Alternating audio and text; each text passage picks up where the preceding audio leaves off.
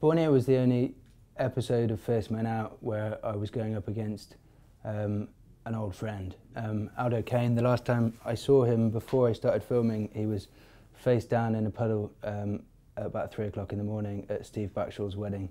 And um, he was completely passed out. and uh, so it was really, really nice um, to see him get off the boat and um, to give him a big hug. And the lovely thing about Aldo is he's got such a big heart and you know it's very easy for uh, people in front of the camera to think they're really important but immediately he started grabbing Peli cases of equipment and helping all the crew get all the stuff off the boat and I knew from that moment onwards we were going to have a brilliant episode.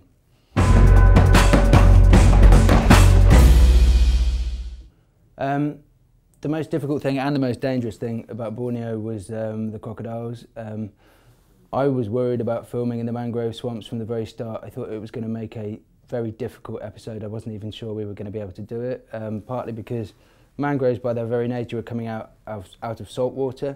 Um, saltwater crocodiles are definitely man, man killers um, and um, I just wasn't sure how we were going to be able to cross all of the water leads, the little sections of water, a bit like on a, in a polar ice cap between, between uh, sort of land, uh, commonly called leads, and um, crossing those gaps of water was definitely uh, one of the sort of biggest logistical hurdles of actually filming a race through the mangroves, both for the camera crew and for Alpha and for Aldo and myself. So um, really, really tricky thing to overcome, and I suppose you'll have to watch the show to find out how we overcame it.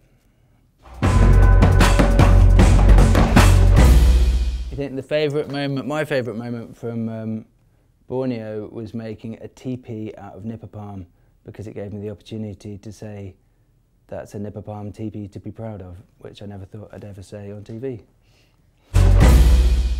Nipa palm is a massive, massive palm which are maybe five metres tall and um, and um, I don't think anyone's ever made a teepee out of Nipa palm in their life in existence of the human race ever before so I was very proud of my Nipa palm teepee.